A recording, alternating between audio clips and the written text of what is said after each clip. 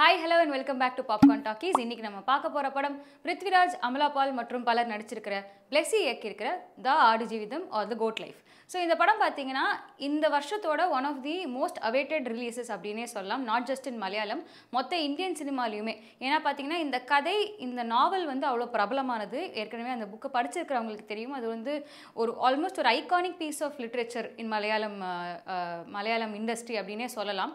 And also இந்த படத்துக்கு அவங்க போட்டிருக்கிற எஃபர்ட் இந்த படம் வந்து நடக்கிறதுக்கு பதினாறு வருஷ எஃபர்ட் வந்து லிட்டரலாக வந்து போயிருக்கு.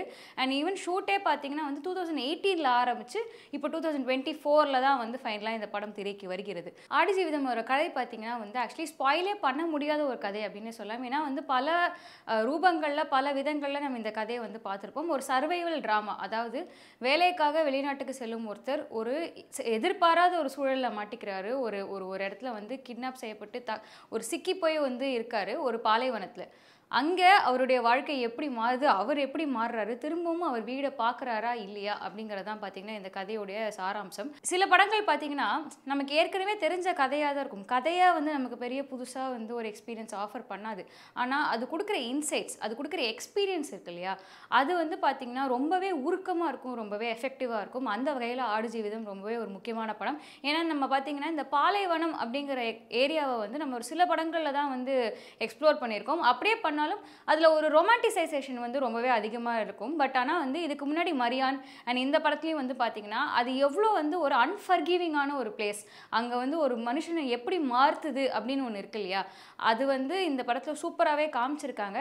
அண்ட் எல்லா எஃபர்ட்டும் அது பதினாறு வருஷம் எஃபர்ட்டாக இருக்கட்டும் இல்லை ஷூட் ஆரம்பித்த எஃபெக்டாக இருக்கும் அது எல்லாமே வந்து திரையில் வந்து ரொம்பவே அழகாக பிரதிபலிச்சிருக்கு அப்படின்னு தான் சொல்லணும். அண்ட் ஜென்ரலாகவே பார்த்தீங்கன்னா மூவிஸ் வந்து புக்ஸை விட புக்ஸை படித்தவங்களுக்கு எஸ்பெஷலி பார்த்தீங்கன்னா எப்போவுமே மூவிஸ் வந்து அதே அளவுக்கு ஒர்க் ஆகாது அப்படிங்கிறது ஒரு காமன் பர்செப்ஷன் அது வந்து ஏன் நடக்குது அப்படின்னு பார்த்தீங்கன்னா நம்ம ஒரு புக்கை படிக்கிறப்போ நம்மளே அந்த இடத்துல நம்மளை இமேஜின் பண்ணிப்போம் அதில் ஆட்டோமேட்டிக்காக ஒரு அடிஷ்னல் எலிமெண்ட் ஆட் ஆகிடும் பட் ஆனால் ஆடு ஜீவிதமில் அந்த கேப் இருக்குல்ல.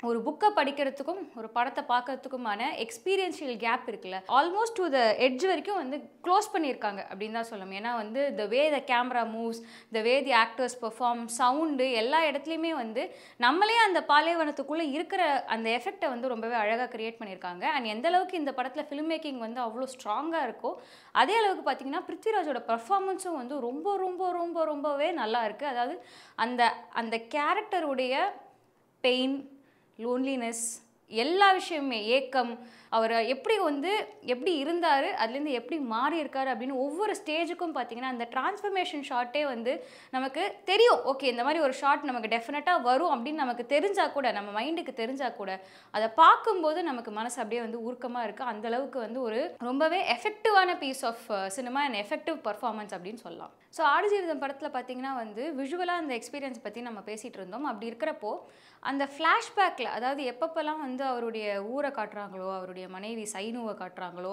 இல்லை வந்து அவர் எந்த மாதிரியான ஒரு வாழ்க்கையை வாழ்ந்துட்டு இருந்தாங்க அப்படின்னு காட்டுறாங்களோ அந்த இடம்லாமே பார்த்தீங்கன்னா ரொம்பவே வைப்ரண்ட்டாக வந்து ஒரு ஒரு ஒரு கலர்ஃபுல்லாக ஃபீல் ஆகுது.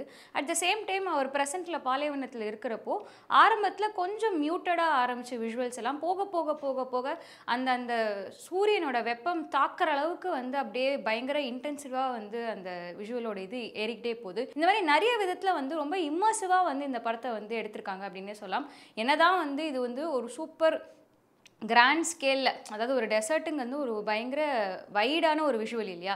அப்படி இருந்தாலும் எங்கெங்கே எது எதுக்கு கரெக்டாக நமக்கு வந்து ஃபோக்கஸ் இருக்கணும் அப்படின்னு சொல்லி க்ளோஸ்அப்ஸையும் விட்டு கொடுக்காம ரொம்பவே வந்து கனெக்டடாக ஃபீல் பண்ண வைக்கிறாரு நஜீபோட நம்மளை. அவருடைய முகங்களுக்கு வச்சிருக்கிற க்ளோஸ்அப்ஸாக இருக்கட்டும் இல்லை அவருடைய உடலுக்காக இருக்கட்டும் இல்லை அவரோட காலுக்காக இருக்கட்டும் எங்கெங்கே அப்படியே நம்ம இந்த கேரக்டரோடயே வந்து ட்ராவல் பண்ணக்கூடிய விஷயங்களில் ஃபிலிம் மேக்கிங் அதுவும் எஸ்பெஷலி கேமராவாக வந்து கேமராவும் சரி டைரக்ஷனாகவும் சரி ஸ்டேஜிங் பிளாக்கிங் எல்லாமே வந்து ரொம்ப ரொம்ப இம்மர்சிவாக வந்து நமக்கு ஃபீல் ஆகுது. இப்போ ஆடு ஜீவிதம் பார்த்தீங்கன்னா நான் ஏற்கனவே சொன்ன மாதிரி ஒரு நாவல்லேருந்து அடாப்ட் பண்ண ஒரு ஒரு படம். டீப்பான ப்ரஃபோண்டான தீம்ஸ் இருக்கும். ஹியூமனிட்டினா என்ன?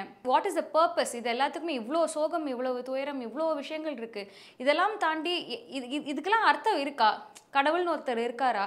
ஃபெய்த்துக்கு என்ன நிஜமாலே என்ன என்ன வந்து ஒரு பர்பஸ் இருக்குது நம்ம வாழ்க்கையில் அப்படின்னு சொல்லி நம்மளை நிறைய யோசிக்க வைக்கக்கூடிய ஒரு கதை தான் வந்து ஆடு ஜீவிதம் இதை ஒரு மெயின் ஸ்ட்ரீம் ஆடியன்ஸ்க்கு நம்ம எடுத்துகிட்டு போகும்போது எப்போவுமே வந்து பார்த்திங்கன்னா ஒரு பெருந்துயரத்தை காட்டும்போது ஐயோ இது ரொம்ப ஹெவியாக இருக்குது அப்படின்னு சொல்லிட்டு ஆடியன்ஸ் ஈஸியாக அதுலேருந்து அதை தள்ளி வைக்கக்கூடிய ஒரு மனப்பான்மை டெஃபினட்டாக இருக்குது நீ நிறைய அதுவும் எஸ்பெஷலி ரீசெண்ட் டைம்ஸில் பார்த்தீங்கன்னா ஐயோ ரொம்ப சோகம்ப்பா ரொம்ப இல்லை ரொம்ப ஹெவியாக இருக்குது ரொம்ப இதுவாக இருக்குது அப்படின்னு சொல்லியே நிறைய படங்களை வந்து நம்ம பார்க்காம ஒதுக்குன விஷயங்களும் இருக்குது அந்த ஒரு இதை மைண்டில் வச்சு கூட இந்த படத்தை வந்து ரொம்பவே மெயின் ஸ்ட்ரீமாக வந்து பண்ணியிருக்காங்க அப்படின்னு தான் சொல்லணும். அந்த பெருந்துயரத்தை பெருந்துயரத்தை காட்டும்போது கூட அதில் ஒரு இடத்துல எங்கேயோ ஒரு இடத்துல ஒரு ஹியூமனிட்டியை வந்து ஞாபகப்படுத்துறதுக்கோ இல்லை ரொம்ப முக்கியமாக ரஹ்மானுடைய இசை எங்கெல்லாம் வந்து வருதோ எல்லா இடத்துலையுமே அது ஒரு பெரிய ஒரு ஒரு ஒரு சேலஞ்சை வந்து அங்கே எக்ஸிபிட் பண்ணாலோ இல்லை ஒரு பெரிய வந்து ஆப்ஸ்டக்கல் அங்கே வந்து அண்டர்லைன் பண்ணாலும் ஏதோ ஒரு இடத்துல ஏதோ ஒரு நோட்டில்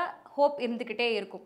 படத்தோட ஃபுல் ட்ராக்ல பார்த்தீங்கன்னா எங்கேயோ ஒரு இடத்துல ஓகே இல்லை நம்ம போயிடலாம் போயிடலாம். அடுத்த ஸ்டெப் அடுத்த ஸ்டெப் அடுத்த ஸ்டெப் இருந்து விட்டுறக்கூடாது கிவ் அப் பண்ணக்கூடாது அப்படிங்கிற அந்த ஒரு அடிநாதம் வந்து படம் ஃபுல்லாக இருந்துக்கிட்டே இருக்கும். அதுவும் நமக்கும் ஃபீல் ஆகிக்கிட்டே இருக்கும்.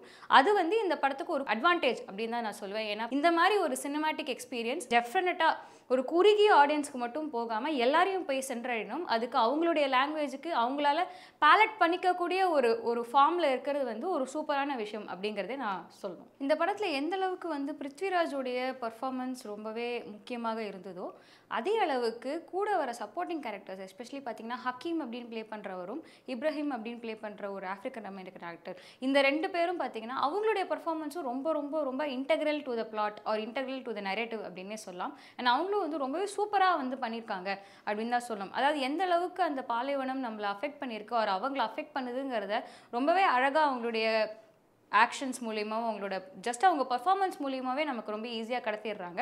ஒரு ஃப்ரேம் பற்றி மட்டும் நான் எஸ்பெஷலாக வந்து பர்டிகுலராக சொல்லணும் அப்படின்னு நான் நினைக்கிறேன். ஏன்னா பார்த்தீங்கன்னா டைட்டிலர் ஃப்ரேம் அப்படின்னே சொல்லலாம். அதாவது கோட் லைஃப் அப்படின்னு வந்து படத்துக்கு பேர் வச்சுருக்காங்க. அதுக்கு என்ன காரணம் அப்படின்னு பார்த்தீங்கன்னா அந்த கேரக்டர் தன்னோட தன்னை வந்து ஒரு ஹியூமனாகவே ஒரு மனிதனாக உணராமல் தான் மேய்க்கும் மாடுகளாக உணர்ற ஒரு தருணம் இருக்கு இல்லையா? அந்த அளவுக்கு அவருடைய வாழ்க்கை வந்து ரொம்ப மனோட்டனஸாக ரொம்ப வந்து எந்தவித அதாவது ஒரு ஒரு ஒரு சிந்தனையோ எக்ஸ்பீரியன்ஸோ இல்லாமல் ஒரு ஆடு மாதிரி தான் நம்மளும் வாழ்ந்துட்டு இருக்கோம் அப்படிங்கிற அந்த ஒரு ஃபீலிங்கு அதை விஷுவலாக வந்து ரொம்ப சூப்பராக வந்து கடத்தியிருப்பாங்க. அந்த அந்த அந்த ஃப்ரேம்லேயே இந்த மாதிரி நிறைய விஷயங்கள் நம்ம எப்படி வந்து விஷுவலாக ட்ரான்ஸ்லேட் பண்ணுவாங்க அப்படின்னு யோசிச்சு சூப் நிறைய விஷயங்களை வந்து மெட்டஃபரிக்கலாக சொன்ன நிறைய விஷயங்களையும் சூப்பராக வந்து இந்த படத்தில் கடத்தியிருப்பாங்க. எந்த அளவுக்கு விஷுவல் எக்ஸ்பீரியன்ஸ் ரொம்ப அருமையாக இருந்துச்சு அப்படின்னு சொல்லாமோ அதே அளவுக்கு சவுண்டும் வந்து இந்த படத்தில் ரொம்ப ஒரு முக்கியமான part and apart from music actually வந்து நிறைய இடத்துல சவுண்ட் வந்து அந்த எக்ஸ்பீரியன்ஸை நமக்கு பயங்கர க்ளோஸாக கொண்டு வரதுக்கு ரொம்ப ஒரு முக்கியமான ரோல் ப்ளே பண்ணியிருக்கு. இந்த மாதிரி ஒரு ஒரு ஒரு சினிமாட்டிக் பீஸை வந்து மெயின் ஸ்ட்ரீம் ஆடியன்ஸ்க்கு பக்கத்தில் கொண்டு போகணும் அப்படிங்கிறப்போ நிறைய இடத்துல வந்து மியூசிக்கை வந்து ஓவர் ஓவர் ப்ளே பண்ணுறது அந்த எமோஷன்ஸ் அண்டர்லைன் பண்ணுறதுக்கு யூஸ் பண்ணுறது இது எல்லாமே நம்ம வந்து கமர்ஷியல் சினிமாவில் அதிகமாக பார்த்தக்கூடிய ஒரு விஷயம் தான் பட் இந்த படத்துடைய ரொம்ப ரொம்ப மைய ஒரு ஃபீலிங் ஒரு மைய உணர்வு அப்படிங்கிறது பார்த்திங்கன்னா லோன்லினஸ் லோன்லினஸில் இருக்கிற சைலன்ஸ் அந்த சைலன்ஸை வந்து நம்மளால் இந்த படத்தில் வந்து நிறைய இடங்களில் கேட்கவே முடியல. ஏன்னா பார்த்திங்கன்னா நிறைய இடங்களில் வந்து பேக்ரவுண்ட் ஸ்கோர் ஓவர் பவரிங்காக இருக்குது ஓவர் பவரிங் இந்த சென்ஸ் நல்லா இல்லை நல்லா இருக்குது அந்த இதுக்குள்ளே இல்லை. பட் ஆனால் அந்த இடம் அந்த சைலன்ஸை நம்ம உணர்ந்துருந்தா இன்னும் அந்த கேரக்டரோட நம்ம வந்து ஒன்று இருந்திருக்கலாமே. இன்னும் அந்த பெயின் அந்த அந்த லோன்லினஸ் நமக்குள்ளே டீப்பாக போயிருக்குமோ அப்படிங்கிற ஒரு ஃபீலிங்கை வந்து நமக்கு ரஹ்மானுடைய ஸ்கோர் வந்து கொடுத்துக்கிட்டே இருக்குது ஸோ ஒரே ஒரு சின்ன என்ன சொல்கிறது டிஸ்அட்வான்டேஜ் அப்படின்னா அது வந்து லேக் ஆஃப் சைலன்ஸ் இந்த படம் அப்படின்னே சொல்லலாம். ஏன்னா எந்த இடத்துல மியூசிக் வரணுமோ அந்த இடத்துல பார்த்திங்கன்னா நம்ம ஏற்கனவே மியூசிக் நிறைய கேட்டதுனால அங்கே வரும்போது அந்த நினச்ச அளவுக்கு ஒரு ஹிட்டோ இல்லை நினச்சளவுக்கு அந்த மூமெண்ட் வந்து ஒரு ஒரு அப்லிஃப்ட்மெண்ட்டோ நமக்கு வந்து கொடுக்கறதில்ல. டு சம பாடு ஜீவிதம் வந்து டெஃபினட்டாக ஒரு விஷுவல் போயிட்ரி அப்படின்னு தான் சொல்லணும். அது அந்த பாலைவனமாக இருக்கட்டும் சரி இல்லை கேரளாவில் இருக்கிற லஷ் க்ரீன் வாட்டர் நிறைந்த ஒரு ஒரு ஒரு வளம் இருக்கு இல்லையா? அதை காட்டுறதா இருந்தாலும் சரி கேமரா லிட்ரலாக வந்து ஒரு ஒரு ஒரு கவிதை ஒரு பெயிண்டிங்கை தான் வந்து வரைஞ்சிருக்கு. அந்த பெயிண்டிங்கில் அந்த கேரக்டருடைய சோகம் வந்து ஒன்றி இணைஞ்சு ஒரு பயங்கரமான ஒரு சினிமாட்டிக் எக்ஸ்பீரியன்ஸாக தான் வந்து ஆடு ஜீவிதம் டெஃபினட்டாக இருக்குது ஸோ கண்டிப்பாக வந்து இந்த படத்தை மிஸ் பண்ணாமல் தேட்டரில் பாருங்கள் இந்த படத்துக்கு நான் கொடுக்குற ரேட்டிங் ஃபோர் ஆஸ் ஆல்வேஸ் உங்களுக்கு இந்த வீடியோ பிடிச்சிருந்தா லைக் பண்ணுங்கள் நீங்கள் ஆடு ஜீவிதம் பார்த்தீங்களா? உங்களுக்கு படம் பிடிச்சிருந்தா இந்த வீடியோ பற்றி நீங்கள் என்ன நினைக்கிறீங்க? இது எல்லாத்தையும் கீழே கமெண்ட் பண்ணுங்க அண்ட் முக்கியமாக ஜேஎஃப்டபிள்யூ பிஞ்சுக்கு சப்ஸ்கிரைப் பண்ணுங்கள்